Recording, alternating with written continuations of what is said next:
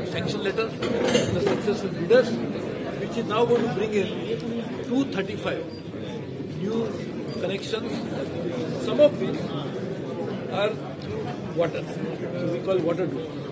And therefore, these are new beginning that now connectivity not will be just through the land-based airports, but it will be also through through, uh, water doors.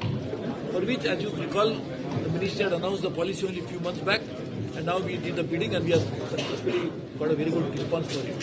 So now that means that lot of places, islands, river, river-based cities, all of them will be connected to this program. Also today, international Udan, which is launched, and now that is going to be. And this was done in a very successful model involving a state government itself. So state government offered support and this was successful. I would appeal to many more states to join it so they can connect their neighboring countries to that process and therefore this can be a very good model for success. Also the state government also have been pleading to us and also uh, making appeals to us that we must connect more areas. So today we also decided that Udan 3.5, we can call it, is an extension of this Udan itself. Is launched to cover those areas which in the opinion of the state government needs to be connected.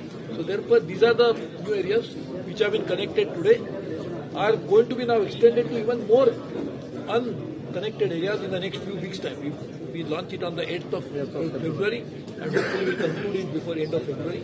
So therefore, we'll be able to do that. So this is a very good beginning of bringing each and every part of India connected through air travel, which was the Prime Minister had said that Udan ऐसी होनी चाहिए कि जहाँ पर हर आदमी सफ़र करने में यदि उसको उम्मीद रखता है तो उसको सफ़र करने का मौका मिलना चाहिए। तो मुझे लगता है इस, आज की अनाउंसमेंट के बाद मैं दावे से कह सकता हूँ कि आने वाले कुछ दिनों में ये हमारी जो ख्वाहिश थी, हमारी जो उमंग थी, हमारी जो इच्छा थी, वो पूरी मात्रा में पूरी होगी और आने वाले दिनों में सभी जगह पर ये कनेक्टिविटी बन जाएगी। इसके लिए आज 26 जनवरी के पहले दिन 25 जनवरी को रिपब्लिक डे कल से हम मनाएँगे। तो उसके पहले दिन ही मैं मानता हूँ हमारे तरफ़ से देश की जनता को एक सेवा का एक तोहफा हम दे।